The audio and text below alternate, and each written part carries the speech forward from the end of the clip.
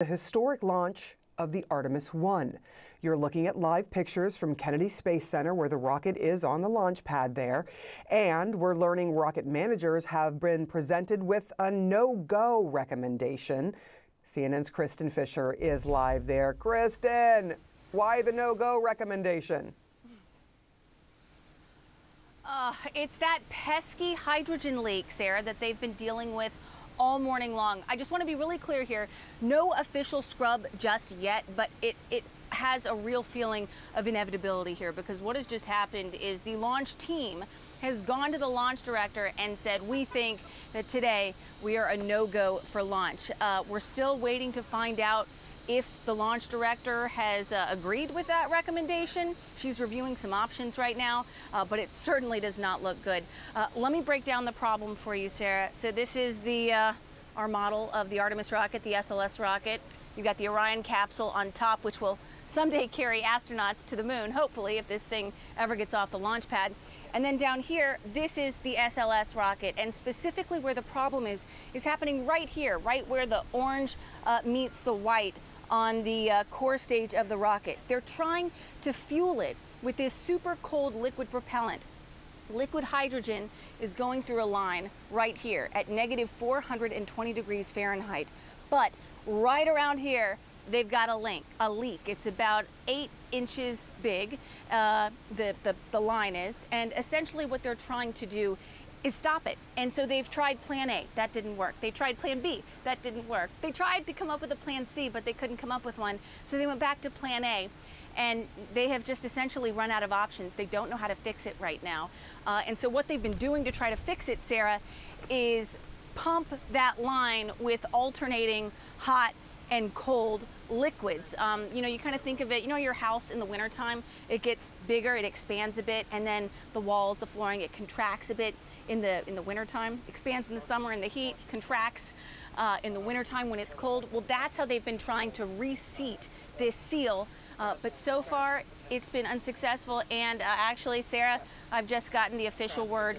The second launch attempt of the Artemis moon rocket has indeed scrubbed. So. Now, Sarah, the big question becomes, you know, what next? When can they try again? Uh, the next launch attempt is Monday. They could potentially try to turn this around by then. They'd have to try to, you know, get all this liquid propellant out, get to the launch pad, try to make some fixes uh, in a very short period of time. But they do have a good two hour long launch window on Monday. So that's a possibility. They have another launch window on Tuesday, but it's only like 30 minutes long. That's mm. really not what NASA wants. So if they cannot get this fixed on the launch pad by either Monday or Tuesday, then it's really not good because then, Sarah, they have to take this entire stack, all 322 feet of it, uh, they have to put it back on the crawler and take it all the way back four miles to uh, the vertical assembly building for repairs. Uh, and that would mean they couldn't try to launch again until late September or early October. Not to mention, Sarah, that this puts a ton of strain on the entire rocket. Anytime you move it, I mean, we're talking about jiggling little hoses and lines and seals, moving it four miles, that only increases the likelihood that something else can go wrong, Sarah.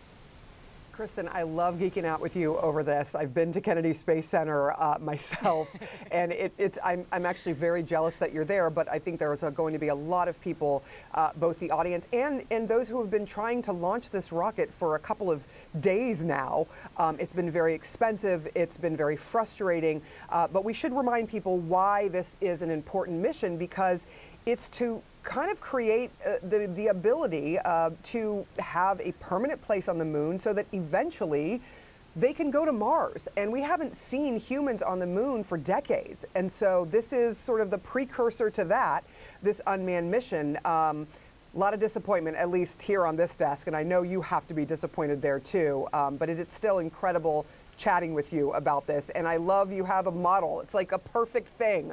I was like, I wish I was there to play with you.